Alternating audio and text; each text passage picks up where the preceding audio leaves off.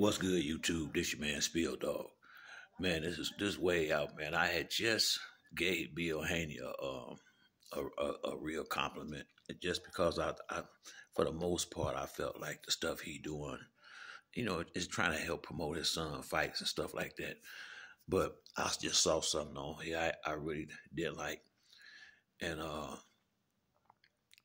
if I hope he see this video, you know, uh Bill looked like he might be close to my age. He probably look, he probably younger than me, but I, am thinking he at least in his forties. He looked like, uh, and I don't know where he from. I think he from California or somewhere. I'm from the Midwest. Uh, one thing I do know is this: in Chicago, people don't call you. You, you don't call another man a bitch that, that shit, you know, you ain't gonna, I mean, I don't give a fuck shooting dice on a block. You ain't gonna hear a grown man call another grown man a bitch ass nigga unless he ready to pull up that itchy or put his dukes up. Real talk. Uh, now, I have been around. I lived in Atlanta, Florida, Chicago. I've been around out west. And so I do know in certain places like Atlanta, people joke around like that. But dudes I know about uh dudes in the Midwest, definitely Chicago, Gary, uh I don't know too much about Indianapolis, but motherfuckers don't play like that. And I seen him have an interview with Adrien Broner, and, and I heard him calling AB bitch ass niggas and shit like that, man. You know, uh, real talk.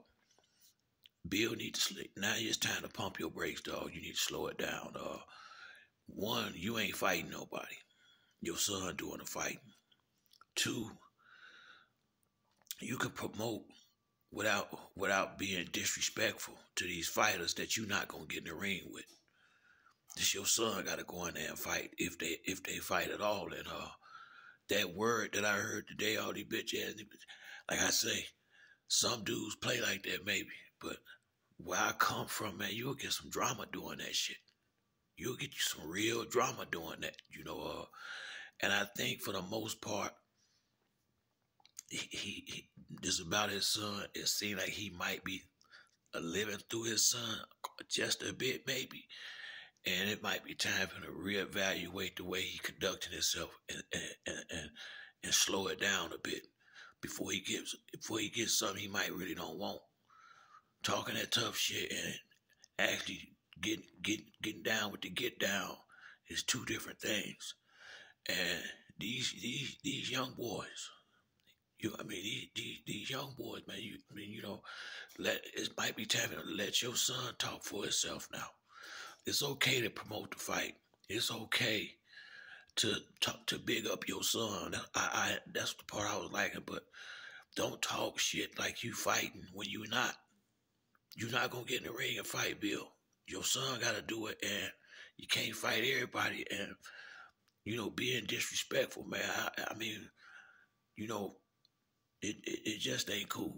It just ain't cool. It's almost some sucker shit. Uh, cause you, you you know you on the camera talking talking reckless. You know, uh, it ain't like y'all right there face to face, man. I mean, it, it, it's time to slow it down. You know, uh, he, he's starting to go too far with it now. You know, uh, it, it, and it could be these cameras and all this shit. You know, who knows? The intention could be. You know, I I, I never looked at him as a, as the as the dude that's looking for attention or like attention, but maybe he do. I'm starting to think. Uh, but I just know I really didn't like the interview I saw today, and he too old to be out there getting into it with these kids like that because these kids to me, Adrien Broner, all these, most of these dudes, Shakur, them, they kids to me. You know, my son older than them dudes. My oldest son, you know, they my son's ages.